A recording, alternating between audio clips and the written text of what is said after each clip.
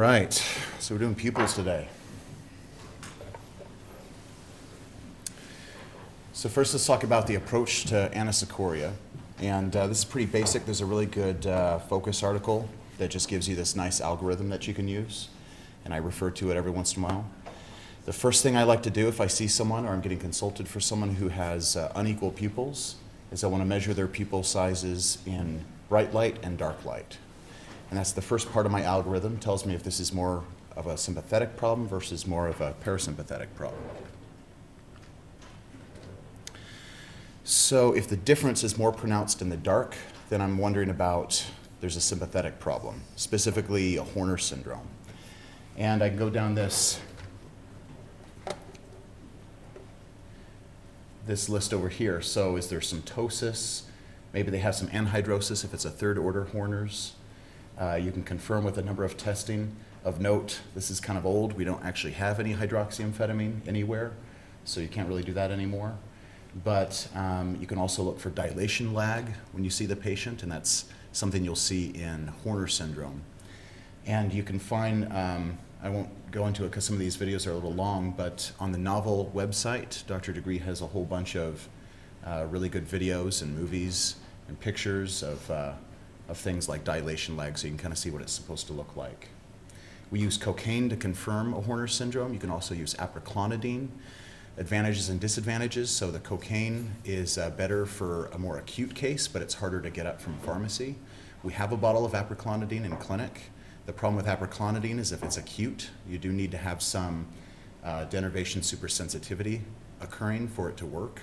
And so uh, you might not pick it up acutely.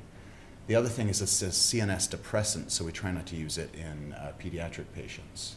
And then the hydroxyamphetamine is really helpful for determining if it's pre versus post ganglionic.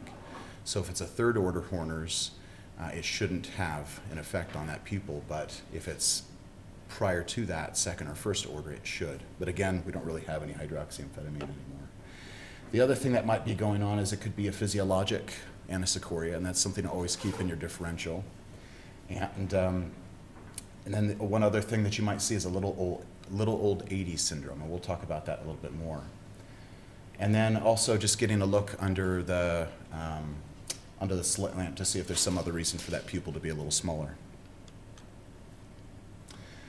And so then what if it's more pronounced in light? Well, then I'm leaning towards parasympathetic dysfunction, and I might be thinking more about a third nerve palsy.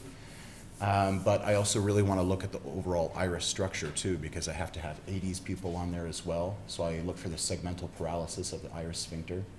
Look at their extraocular movements, look for ptosis, things like that to lean you more towards uh, third nerve palsy. So the concern with an isolated um, uh, anisocoria that's uh, more pronounced in bright light is that it could be an, an early third from a compressive lesion the parasympathetic fibers are on the outside of the nerve, and so as it's starting to be compressed, it's going to start um, hitting those before it starts affecting extraocular movements. And then with these patients, you can use uh, pilocarpine. You can use a very dilute pilocarpine to confirm Adie's people, and you can use a more um, uh, a heavier dose, like 1%, to see if it's more of a third nerve palsy versus traumatic mydriasis. Okay, so let's get right into the cases. So this first case, um, this is in my neurology residency. We got called to see a 72-year-old man. He was in a rollover accident, really bad one. Trauma has seen him. They checked him out. They said, okay, he's stable. He's got like a CT of the neck and some x-rays. We're just gonna go review these, but otherwise he's stable. Uh, one thing we notice is that he has a right blown pupil. Can you come down and take a look at him? Uh, he's also, he's weak on the left, but we think he has some fractures on that side. And um, so we go down, and your brief optho exam is that he's 20/20, and pupils, we'll take a look at that, but there's no APD. Extraocular movements, visual fields are all full, and the fundus looks fine. But he is weak on the left and on the left upper and lower extremities, but he also has an upgoing toe on the left. So this is what he looks like. And know what you're thinking, this is one of the first things you look at as an optho resident, or his feet, right? so um, this is why they're talking about, yeah, we think he fractured his hip, just because hip fractures will frequently cause this external rotation of the leg. But he's got an upgoing toe, so that should point you more towards a central nervous system issue. What do you guys notice over here? One hand red, one hand white. Exactly. So this should point you towards some kind of autonomic issue on one side, specifically on the left side. It should be ipsilateral. And then what do you guys think of his right blown pupil? Blown pupil. You're all looking at me like, wait, are you checking?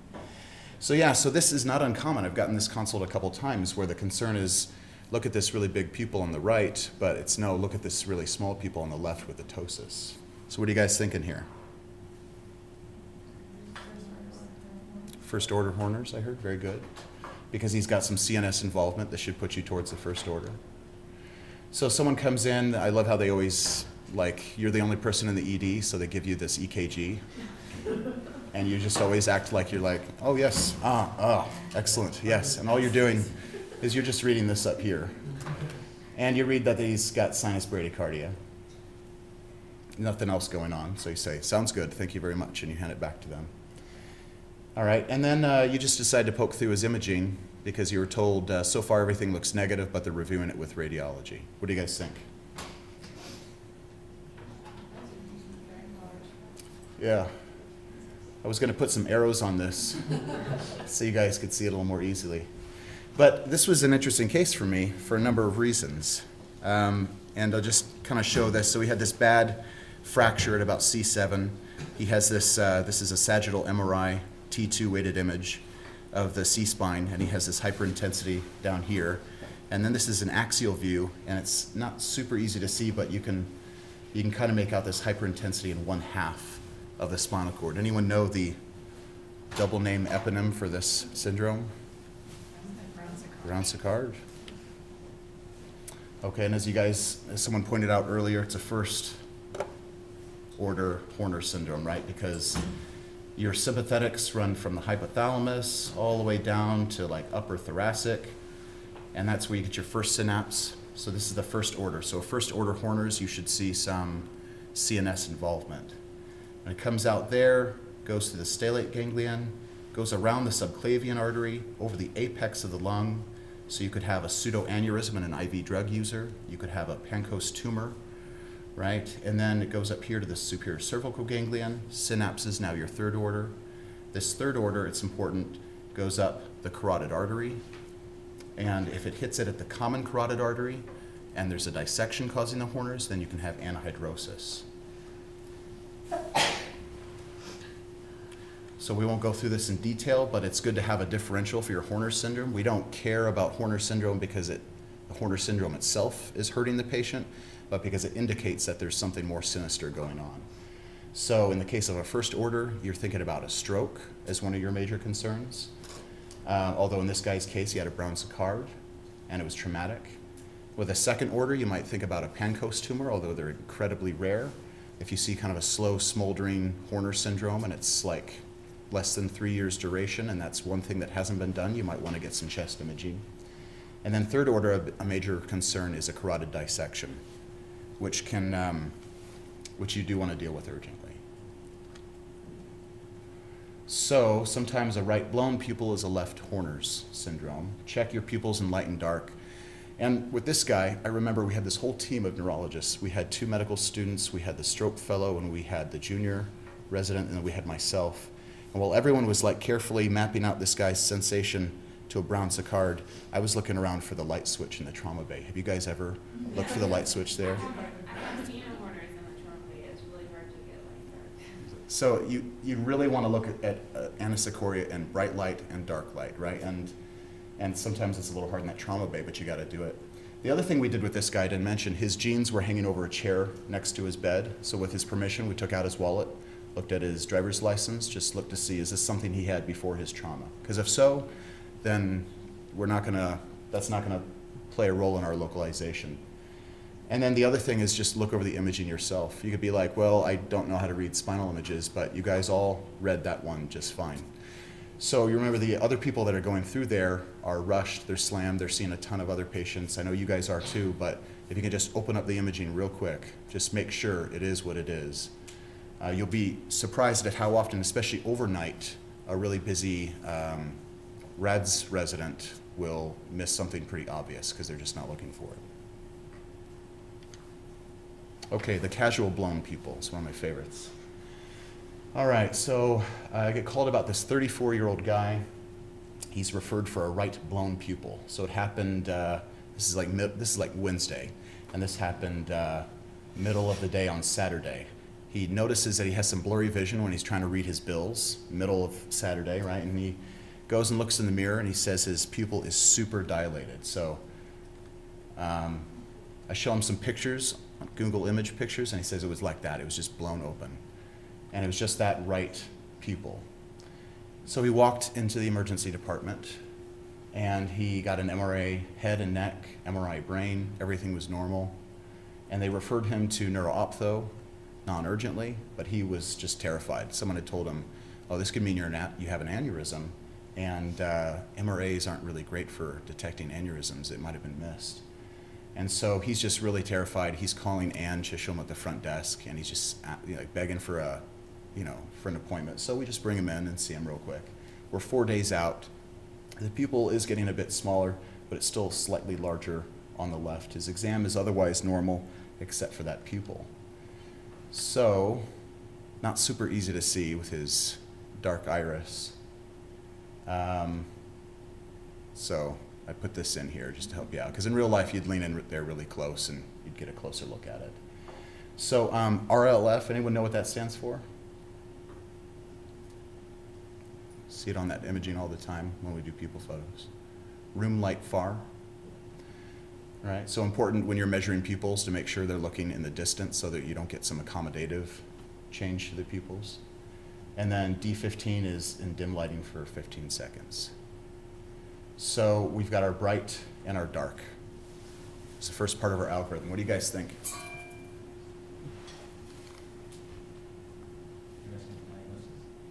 Diagnosis, or what do you think compared between the two? Which one is more pronounced? Which one's abnormal?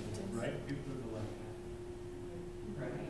So the right one's abnormal, and the difference between the two, is it more pronounced in dim lighting or bright lighting? Right. Bright lighting, right? So are you leaning towards problems with his sympathetic or his parasympathetic? Parasympathetic. Okay, so the thought here is, is maybe a, a third nerve palsy, right?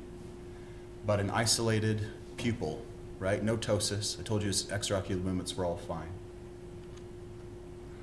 And this is what we got. So I start talking to this guy about um, what about some eye drops? I mean, look at this pupil that he had before. You don't get that without like putting something in the eye, right? Um, so I'm asking him about eye drops. He's like, no, no, no, they asked me about that. I didn't put anything in my eye, nothing. So I'm like, oh, crap. I thought that'd be easy. Um, well, what else? What were you doing Saturday when this happened? He's like, I was just out in the yard pulling some weeds. Oh, what weeds? Ah, these really annoying ones. They're pretty looking, but they're all over my yard. And I do a Google image search. I show him this exact picture, and he's like, that's the one. That weed's all over my yard. It's everywhere. I was like, oh, okay. So this is a hot day in August, and uh, you're kind of wiping your brow like this, maybe wiping the sweat off after you pull some weeds there. And he's like, yeah, yeah, in fact, I, I think I did that. Okay, well, case solved. So Jimson weed um, is this uh, weed that you can find around here in Utah. And um, sometimes they describe it as uh, getting in the eyes of farmers too, if it gets caught under their tractor and they're kind of working under it, um, or any kind of vehicle they take out in the field and it has uh, atropine in it, and so it can cause this kind of toxic or pharmacologic mydriasis. We won't go into this, but just a nice list for you to kind of look through uh, when you're wondering about uh, um, possible pharmacologic mydriasis. So history, history, history is so important. This guy did not need an MRI brain. He did not need an MRA head and neck. He just needed someone to kind of think about what could possibly have gotten in his eye and how. Uh, know a patient's med list too. Go through that med list very carefully. And uh, there's some things they won't think to tell you about. And so, um, and I'll talk about that in a second. But uh, another important point here is blown pupils from herniation, they don't walk into the ED, right? So if this person's sitting there having a conversation with you, they're not herniating. So you can, you know, everyone else is going to be just going crazy and and sometimes you'll get a call from the ED and they're saying, no, drop, drop your drop your open globe, come here and see this patient right away. This person's dying, they're herniating.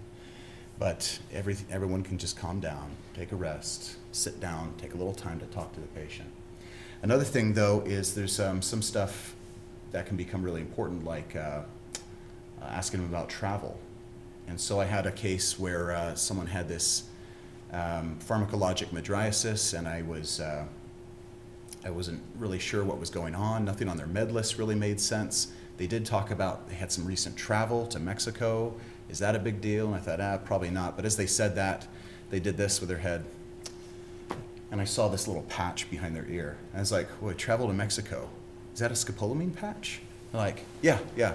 I didn't tell you about that because I, it's not like one of my regular meds. I just take it when I travel. It's like, oh, okay, great. And so the anisocoria was on the same side that they had their little patch there. Um, and then the other thing is you can sometimes get this consult from ICUs. And so it's important to take a look at their mask and take a look at what medications are being blown in through the mask. And sometimes that isn't documented uh, as, as easily either.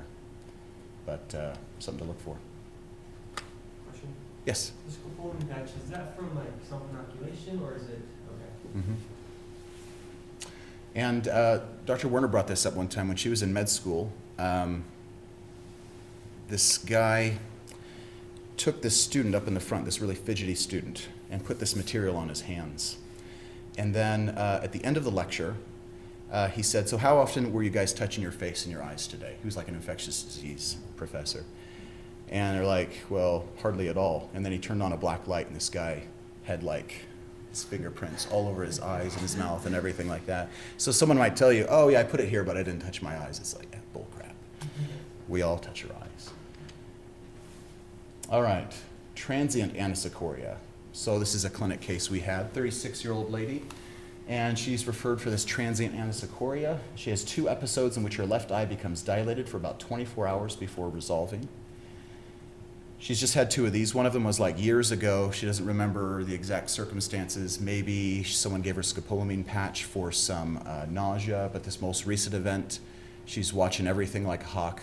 She didn't have anything like that. Nothing in the eye. She she swears there's nothing in the eye. No headache, no double vision, nothing else going along with this. She has a history of migraine, but she was not having one when this happened. So again, totally normal exam except for the pupils. And these are some photos she gave me. They're not terrific, but you can see some things here. This is at the onset. She just takes a picture of herself real quick. And, um, and then this is 10 hours later, and you can see from this bag back here that she's sitting in an emergency department somewhere getting evaluated. So what do you guys think? Which one's the abnormal people?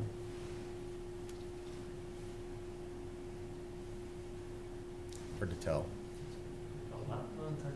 Yeah. And part of this is the history. She just tells you my left one was just kind of blown open and, and not very reactive. When it's happened to her in the past, it was also the left eye. So any thoughts on this one? Transient anisocoria. In a 30-some-year-old woman, otherwise healthy, normal exam otherwise. By the time she comes in and sees you, it's gone. Her pupils are totally normal. You look at it under the slit lamp, there's no sectoral palsy, vermiform movements, anything. Totally looks fine. Sorry? One of the differentials, like benign episodic mydriasis. Okay, good. So that's the differential. Perfect. So um, they also call it springing pupil, and um, it's more common in women than in men. The median age is about 31. It usually lasts about 12 hours. They're, you know, give or take. And then uh, sometimes they'll have a visual blur when it happens, headache, orbital pain. Sometimes they don't have anything associated with it. But the important thing is that it goes away. And, uh, and you can't find anything in a very careful, thorough history of, of any kind of pharmacologic dilation.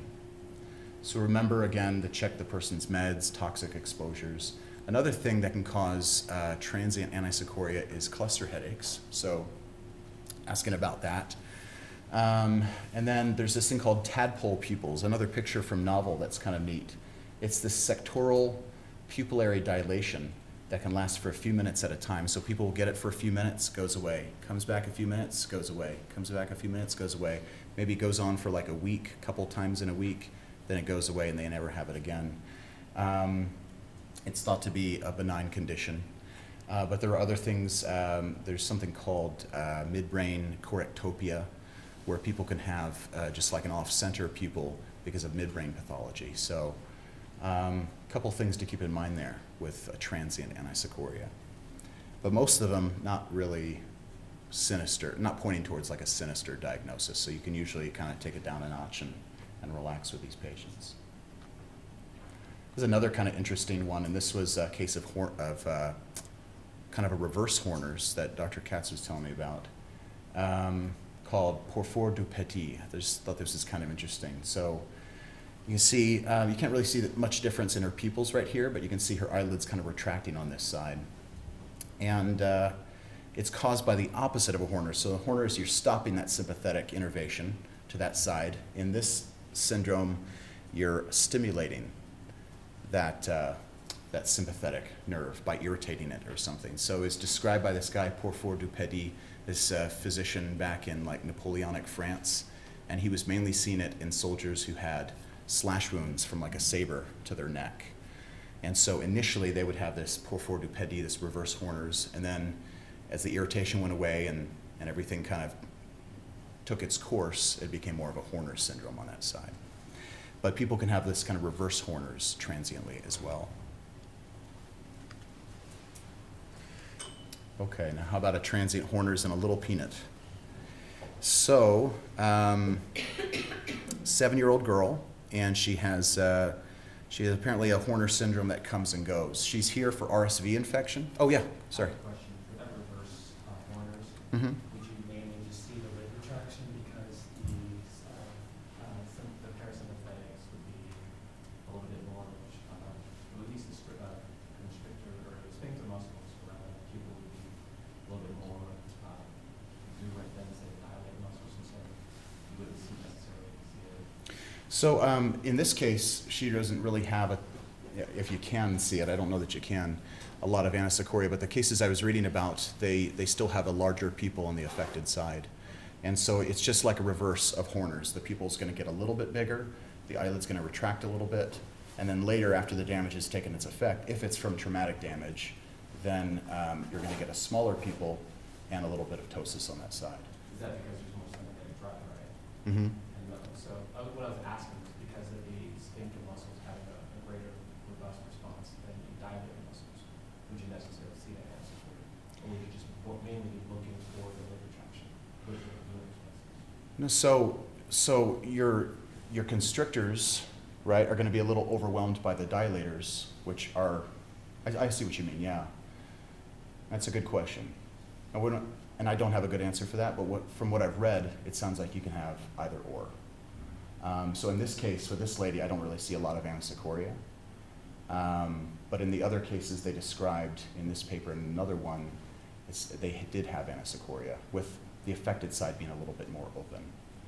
So um, since that sympathetic system is being irritated, um, it's gonna, it's gonna overwhelm the constrictors a little bit on that same side, and it's going to overwhelm that, um, that, um, that eyelid and kind of pull it open a little bit as well.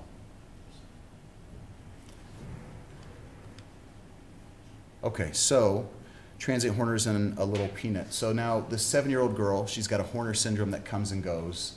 She's admitted for an RSV infection, totally unrelated, but mom and dad have numerous photos of her with and without this, and they're not really worried about this. She seems to have had this like all her life, uh, but the team is really terrified about this and, and says, would you please come and just take a look at this patient, see if this is really a Horner syndrome, see if there's something we need to do. So, um, again, exam is totally normal, and let's take a look at this. So this kid, you can't really see the pupils too well, but there is no anisocoria.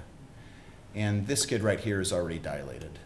But what, what would you, how would you describe this? If you see this patient and then you give me a call on the phone, what would you say?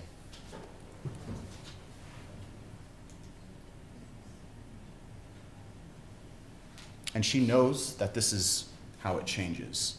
Like a transient unilateral ptosis. What she, thinking? Their jaw movement? right right? The ptosis goes away when, when they move their jaw. And she, she'll know this, right? She's like, yeah, my mom and dad have noticed when I'm chewing food, it just kind of like comes and goes. And so she knows if she opens her jaw or she moves her, she uses her lateral pterygoids and moves her jaw to the side, that it, that it kind of resolves that ptosis. Doesn't just resolve it, but actually causes a little bit of retraction on that affected side. Marcus. Arcus gun, right? So this is the synkinesis between um, the uh, levator and a person's pterygoids or, or other jaw muscles, muscles of mastication. And so it's something that, uh, that this kid was probably born with. It's probably benign. You can kind of stop there. Um, so this Marcus Gunn jaw wink. So remember, not all ptosis is Horner's. Look at those pupils very carefully. Um, so it brings up a good topic, though, which is Horner's in kids. So a congenital Horner's is usually going to be benign. Does anyone want to hazard a guess at what's going on with this kid? So he, he has the heterochromia that they talk about with Marcus Gunn. So he, uh, he has a heterochromia that they d- describe with congenital Horner's. And so um, you can see he has this really light colored iris right here, but he has some miosis and some ptosis on this side. Anyone notice anything about his hair? Yes. Straight on this side and curly on this side. So this congenital Horner's, it's usually benign. Kid, the kid was born with it. They had some damage at birth. Maybe it had to do with how they're, you know, delivered, forceps or something like that. And um, and so because they don't have that sympathet- the same sympathetic innervation on one side, the thought is that melanin requires that sympathetic nerve pathway to kind of make its way to the appropriate tissue. And so they just stay, you know, when kids are born, they have these blue eyes, they just stay blue eyed on that side. The other thing is it has something to do with how the hair curls, and so they'll sometimes have curly hair on the unaffected side and straight hair on the other. But if you see a congenital Horner's, um, and in fact, there's, there's a literature about a 47 year old man that was diagnosed with congenital Horner's. Wasn't noticed until he was 47. He has this uh, heterochromia. He goes in and they image him and they do all this stuff and then they just start looking through these old photos and he just, he had already, you know, he had always had this, just no one seemed to notice. Um, but then what if you see a Horner's in a kid that's like, uh, that's uh, an acquired Horner's in a kid, you know, in their first five years of life? In that case, you should be thinking about like a neuroblastoma and some neck and chest imaging might be required. Another thing to remember with Horner's is that a lot of your cases are going to be idiopathic, anywhere from 30 to 70%.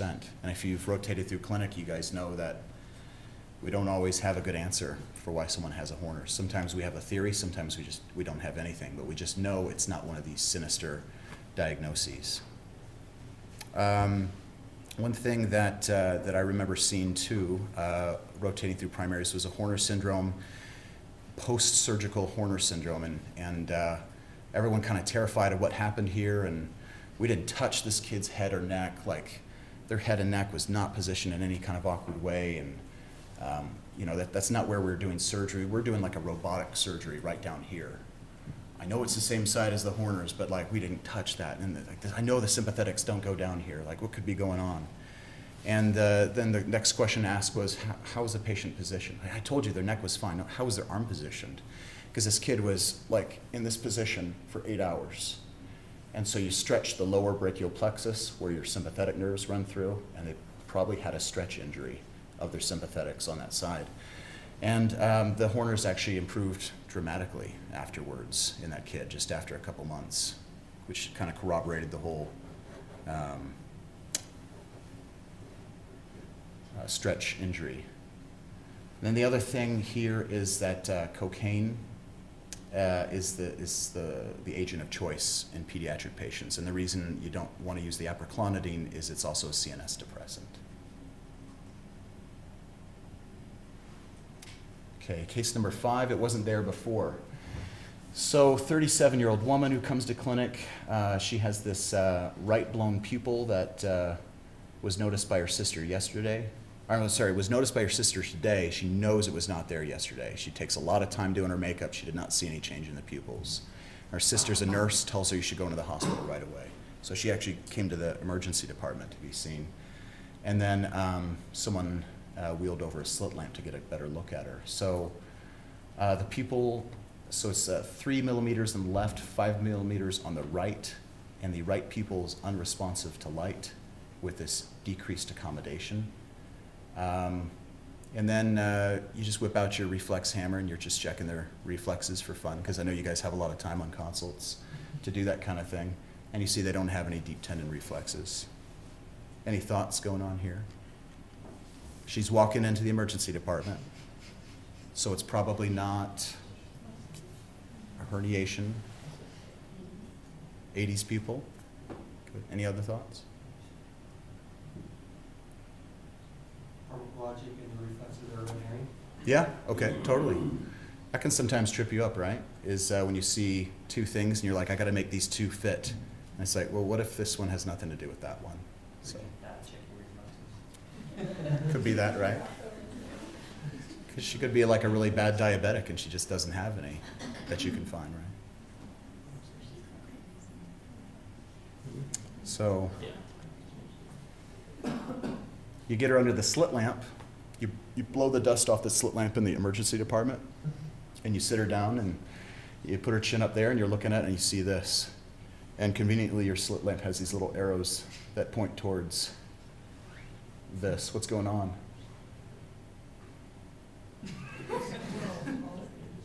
right?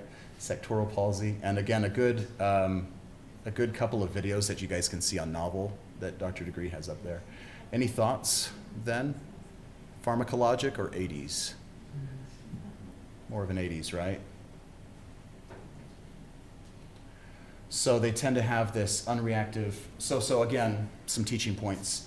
Unreactive people in a conscious patient, get them under the slit lamp and see if you can find that sectoral palsy, right? Because um, you're thinking either pharmacologic or Adie's people, those two should be high on your list. Um, and you can check after one week with a, with a dilute pilocarpine, and I thought I'd just put this in here. Um, if you guys ever want to try it out, this is kind of the recipe for getting yourself some dilute pilocarpine ready. And this is the criteria for it.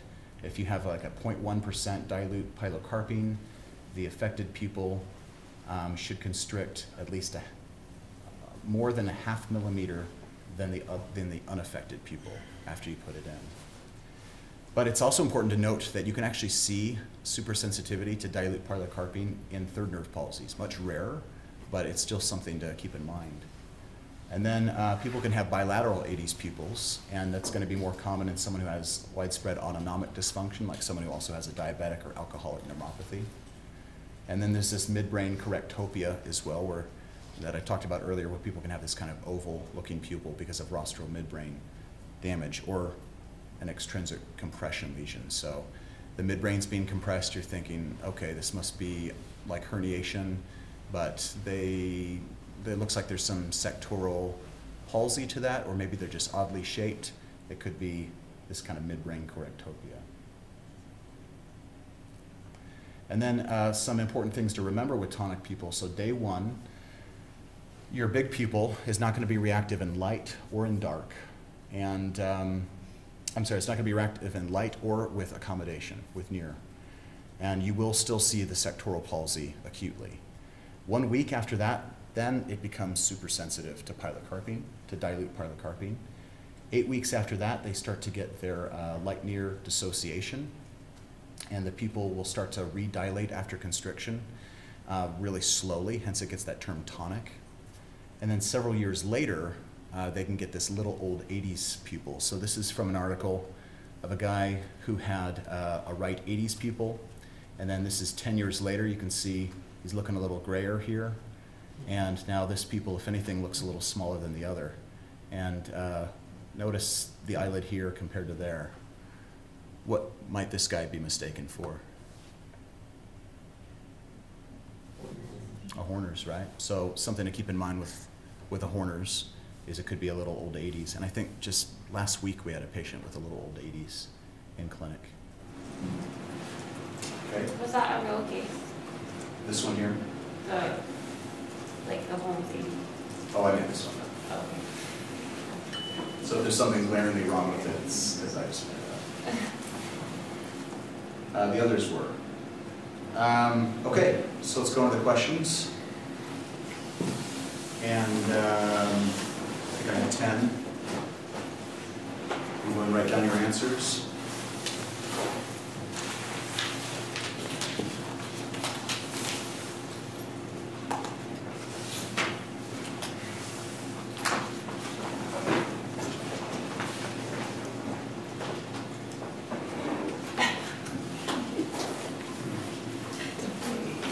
Tara, are you laughing at me?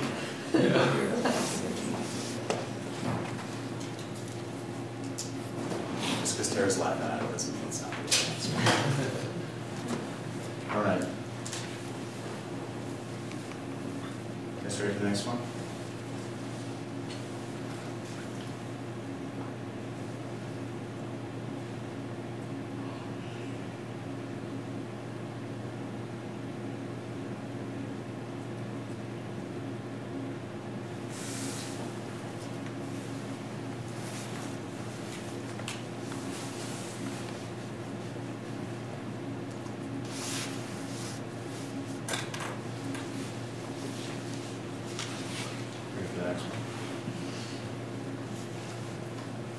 Ready for the next one? If anyone's not, just let me know. Um, please write down your answers, because you're gonna keep track of your scores and turn them in. Whoever has the highest score on the quizzes at the end of the lecture series gets a pie from Dr. Digre. So track your scores. They're self-reported.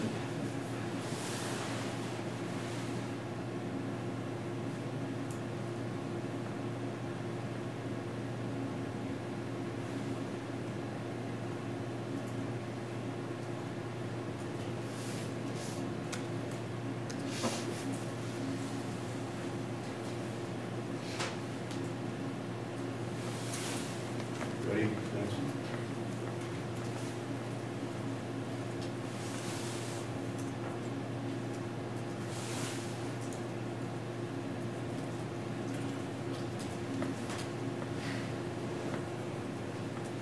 Next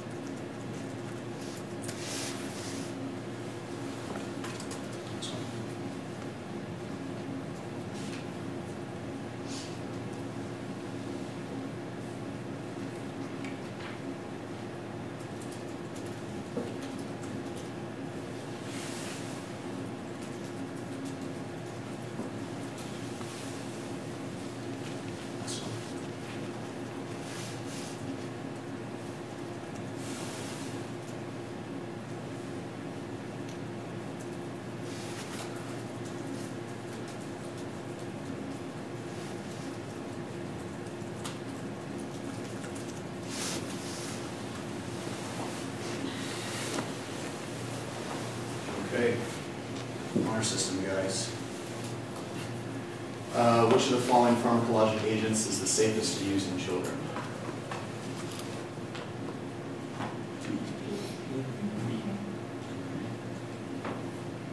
Okay, so the answer is B. You're seeing a patient with the left Horner's, his exam's otherwise normal, but this happened yesterday after a vehicle accident, small little fender bender on the highway. What's the next best thing to do? CTA, right? You want to rule out a. Reason you want to get that urgently is they could have a thrombus sitting in there.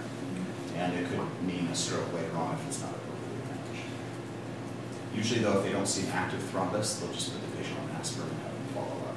If there is an active thrombus though, they'll sometimes admit them instead.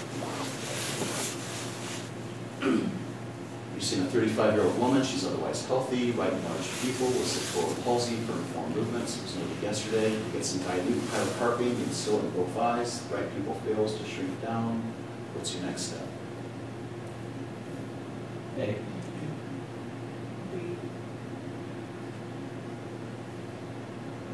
So I would go with A. Um, remember, you're, uh, you've got an acute Adie's pupil, is what this looks like, and they haven't developed that super sensitivity to pilocarpine yet. But you've got sectoral palsy, she's otherwise healthy, and, um, and oftentimes, like Adie's pupils are not imaged, and we oftentimes don't use dilute pilocarpine, it's just kind of a clinical diagnosis. So I would feel comfortable not doing anything for now, but bringing her back in maybe in a week and then retesting and just seeing if anything's changed. And then you can also talk to her about, here's what you do if you start herniating.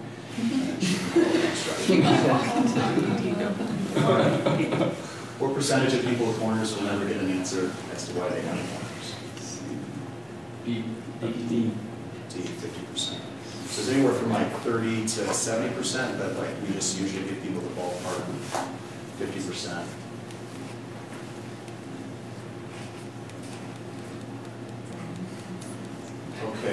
See this twenty-five-year-old woman, she's found down in a bathroom at the emergency department. Shortly after being discharged, she was seen initially for a headache. Right pupil's blown, just take her intubator right there, no questions asked. Um, They can't extubate her now, but she's alert, she's following commands. And uh, she got an MRI brain, she got an MRA head, everything's read as normal. And then um, someone calls you and asks you what the next step is here. She does not have any sectoral palsy. D. I'm sorry. Said D, but not very confident. Okay, so any other thoughts? A? Yeah, I would do A. Um, this is actually a case they had, and they MRI'd her three times, and they vessel imaged her with an MRA and then a CTA, I think they did a conventional angio as well. They were terrified about this person. Um, and then someone started talking to the respiratory therapist. They said, well, I can't extubate her because she's just not giving it that effort. And then you go into her history a little bit more and you find a couple of things. One, she's in this like single person bathroom and she's found down with her pants down around her ankles and the door was unlocked. Like, I don't know about you, but I usually lock the door when I go to a public bathroom or not public. Um, and then um, a couple other things come out with a lot of social stressors, psychiatric issues. And then you find out that she works at this uh, urology lab and uh, they, um, they deal with large quantities of atropine. And you talk to some of her coworkers. And so um, her people took like a week and a half to start to come down. She must have been still a lot in there, and atropine can take a while to come down. Uh, but eventually it did come down. Like I said, all her imaging and everything was negative. What they eventually did is someone did try some 1% pilocarpine and it failed to constrict the eye, which made them think this is probably not a third. She's probably not herniating. Her extraocular movements have stayed normal this entire time. Um, let's, so let's just make sure this is really a third or not. Okay. Uh, so is MRI and MRA, are they both sensitive enough that if she had it, then we would caught it? Yeah, so you can sometimes uh, miss like a small PCOM aneurysm with MRA. Um, and there's a book, um, what's it called?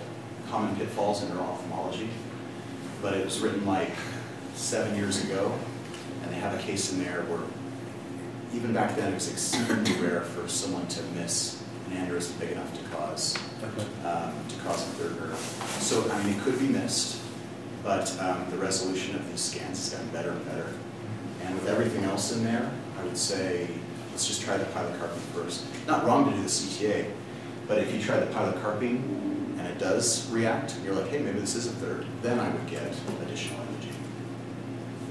But the pilocarpine will be a lot cheaper. You know, it also depends on the clinical situation, like if somebody has, you know, like a droopy lid and and some motility deficits, then I would get an angiogram, I wouldn't mess around with pilocarpine. But in a case where the motility is full, and there's no ptosis, you're kind of like, well, this is weird, all I've got is a big pupil. Yeah.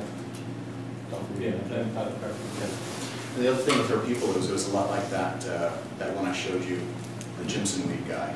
It's just, and, and to get it that big, right, these third nerves are big, but they're usually not pharmacologic big.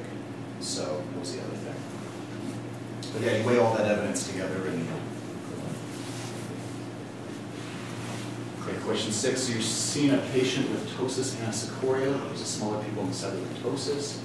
He has raging, stabbing pain on the right side spontaneously for four hours now. He's pacing up and down. The lights are on in the emergency department. He also has this tearing and injection on the side, but there's no proptosis. His eye movements are totally normal. ED tried a migraine cocktail, didn't work. CT head was negative. What would you guys like to do next? So what do you guys think of this? Cluster. So you've already looked at, I mean, the CT head, we often joke about it, it's totally useless, but you have ruled out some big bleed, um, for now, at least. So you could get imaging, but why don't you try treating this first? And um, the thing with oral triptans, uh, subcutaneous triptan will actually help cluster, but oral triptans don't. Um, and then sending this person for non-urgent referral before you've tried something to get that pain away, kind of sucks. All right, how long does it take for someone in the eighties to become sensitive to the dilute pilocarpine? A week. Three possible etiologies for transient anisocoria, Cluster, cluster, migraine, uh, pharmacologic exposure, pharmacologic. like Jimson the Jimson. Um, so you have that tadpole pupil, the springing pupil, right, benign uh, mydriasis.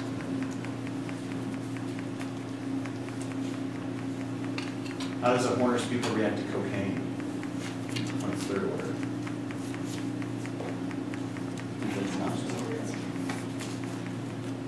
And, um, this little picture, Roxo, the rock and roll clown. Um, so you can see how cocaine works. It inhibits the reuptake of norepinephrine. And so Horner syndrome from any cause, that eye, that affected eye should not dilate much. It might dilate a little bit, but it shouldn't dilate much. The difference between the two should become, if anything, bigger. And then what about to hydroxyamphetamine it's third order?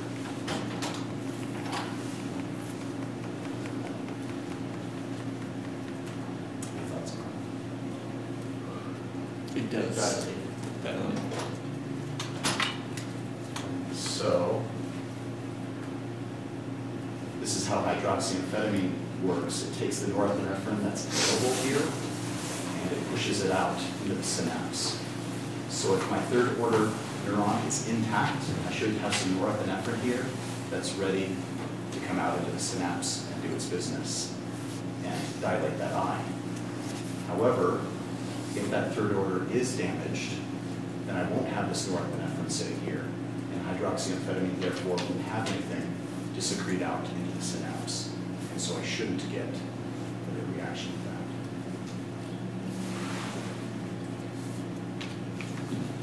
And just hold you to the yes. Any questions? How'd you all doing, you guys? Um, so just a couple of uh, quick points, and that is, in my general ophthalmology clinic, so not my neuro clinic, but like my comprehensive ophthalmology clinic, the most common cause of um, uh, episodic anisocoria is benign episodic unilateral mydriasis. It's really, common. And, um, and these people, the, the story that DR was telling is very accurate. When they come to your clinic, their pupils are normal. And that's part of the differential diagnosis. You examine them, there's no light near dissociation, there's no motility deficit, there's no ptosis, there's no sphincter palsies, their pupils are equal. But they often come with selfies showing, you know, what they look like during the spell. Their pupils can be really, really big. And it can, it usually lasts hours, and it does not need to be associated with a headache. These people usually have a migraine history, but they don't necessarily have a headache at the time that they have the anisocoria. And they're usually asymptomatic until somebody says, what's wrong with your eye?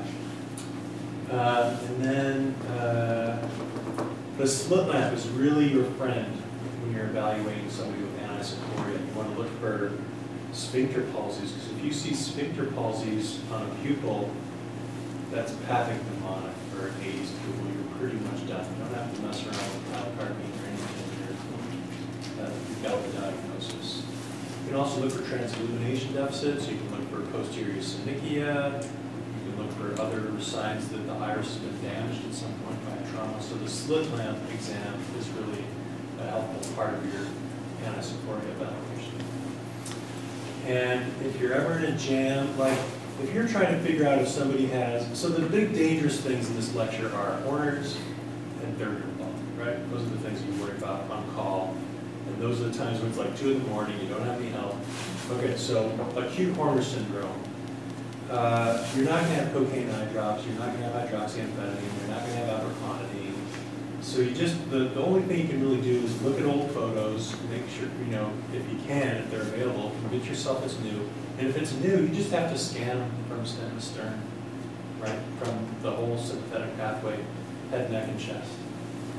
In a third nerve palsy, um, you know, like DR said, if you have a, a unilateral big pupil, an isolated big pupil, no motility deficits, no ptosis, in an awake, responsive, walking, talking patient, you can pretty much cross third nerve palsy off your list. And if you're really worried, you know, pilocarpine is, you can usually get a hold of some pilocarpine. Right? That will help differentiate it from like pharmacologic or benign episodic mydriasis or some other, some other more benign cause. Um, if you have a patient with uh, a motility deficit or a little bit ptosis, like that's third nerve palsy until proven otherwise. And then like third nerve palsy is like an hour long lecture, like how to take care of that. But in an emergency situation, like you're, you are concerned about an aneurysm, but like the more common things are going to be like diabetes. And so trying to differentiate a diabetic third from a aneurysmal third, that's kind of a subject of Dr. Digre's lecture later on the lecture series. Um, but pilocarpine can really be helpful in that situation because if, if the pupil doesn't react to 1% pilocarpine, you know you're dealing with something like pharmacologic. A third nerve palsy will constrict to pilocarpine, so that helps, that, that's a quick way to help yourself out. Have a nice week.